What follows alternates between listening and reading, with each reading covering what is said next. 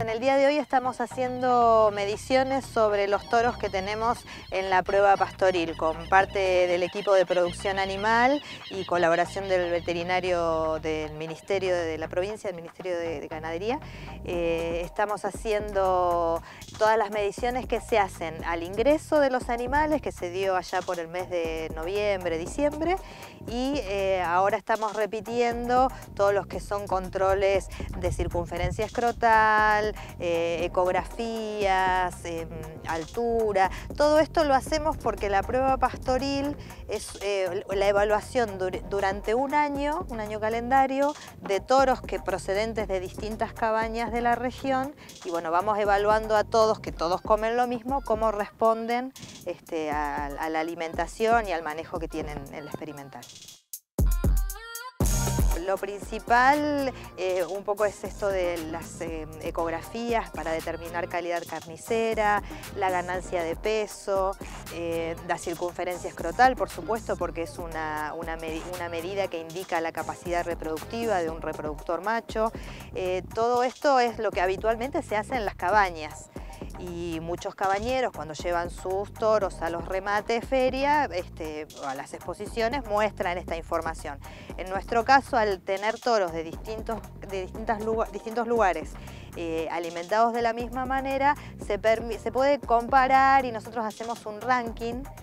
con todas estas mediciones que hacemos sobre los toros, hacemos un ranking donde hay un toro ganador, que es el, ganador de la prueba, con los mejores índices, y bueno, eso después, como los toros van a un remate común, digamos, todos juntos salen a remate a venta, ese toro es el que va a tener el mayor valor y, eh, bueno, es el que los criadores tienen eh, más ganas de comprar, ¿no? Entonces, bueno, lo que se fomenta es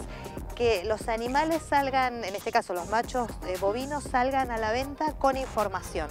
¿no? Porque no todos los toros que llegan a una exposición o a un remate feria se venden con toda la eh, cantidad de información que nosotros podemos medir en, las pruebas pastoriles que se hacen en otros lugares del país también, pero esta es la única patagónica. Nosotros lo que tratamos es hacer un poco de docencia, ¿no? como, como INTA es también nuestro rol, este, contar el para qué de todas estas cosas que medimos, todas estas características, cuando alguien va a comprar un reproductor y las tiene a mano, puede elegir lo que busca en su rodeo, lo que quiere mejorar y bueno, es una forma de ir contribuyendo a mejorar la calidad de reproductores de la región. Las pruebas inician en fines de primavera y, finalizan un año después. En la primavera siguiente se venden, no van al remate. Entonces en el transcurso de ese año se hacen tres pruebas fenotípicas, que es lo mismo que se hace en las, en las exposiciones rurales. Un jurado que tiene preparación para eso los clasifica por las características que vemos por fuera todo esto que medimos este, son características que hay que medirlas con algún instrumental. El pelaje, los aplomos, que digamos son las, patas, cómo caminan, este, la estructura corporal que tienen, la musculatura que se ve, que uno puede pensar que tienen debajo del cuero. Bueno, todo eso este, también da puntaje,